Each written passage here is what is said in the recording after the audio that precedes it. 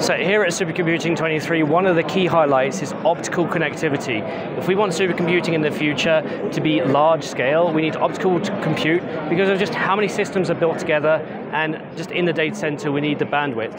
One of the key companies doing that right now is called Ayar Labs. They're working on an in-silicon photonic solution that can be integrated as a chiplet into whatever SoC needs to use it. So at Ayar Labs, we're at the forefront of developing optical interconnect technology that's built on our TeraPHY optical chiplet and a supernova light source. They've got a few of their designs here. Dom, if you'd like to come in. So this is their generational sort of waveguide, and you can see they're building the laser and the, the data, uh, sorry, they're just building the data uh, and the pathlight into the silicon itself. Now, the interesting thing is, I'm not sure if we're able to see it, but here are some of the big cards if you'd like to have a look.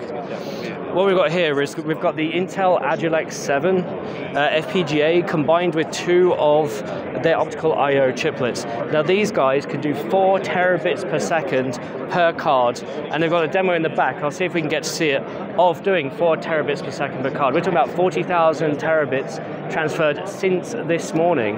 Hopefully we'll get a chance to look at that. They did technically have this demo at Hot Chips, and it was funny because the sunlight on it was uh, playing a little bit with the waveguide. This is obviously built for the data center, so that wouldn't happen.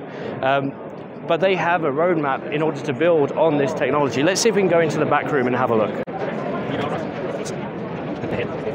So this is part of the back room, and what they've got here is essentially um, an evaluation kit.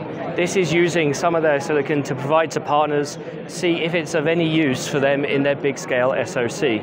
Um, they're looking at next gener- their next generation silicon, so they already have one silicon package, and Dom, if you'd like to come in, it's actually this top one here. That's what they're currently, uh, that's currently productized today. Um, and the one underneath is just what it looks like. And the idea is that they shrink this down into a smaller size, sort of like M.2 width. Uh, so in order you can scale out what your bandwidth needs. Now let's see if we can get access to this demo. So here we have the demo. You've got two cards, and what this demo is showing is just the cards talking to each other. So we're talking about raw bandwidth. Nothing to do with compute yet. This is just bandwidth because this Ayar Labs is a company focusing on bandwidth. Uh, you got your again your Intel Agilex 7 FPGAs talking to each other, and what we have here at 4 terabit per second, data transferred today 85,000 terabit per second. It's because uh, it's later in the day, so six hours. Up here at the top, you've got your bit error rate. So an important bit in communications is how many bits you have to resend, and they, they are hitting a very, very, very low number, right, on the bit error rate, which is very good. And then here we have on the right, we have the demo, four terabit per second. So you got your Ayar Labs light source, your Intel FPGA, and same thing on the other side.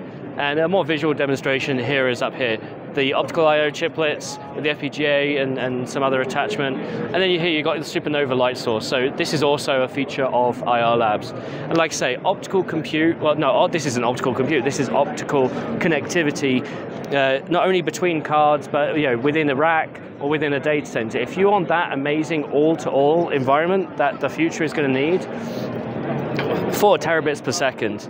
You know, it's it's, it's an amazing number, and uh, I've been working with these guys a little bit, and uh, the roadmap sounds pretty impressive. Uh, hopefully, we get to share that with you guys sometime soon.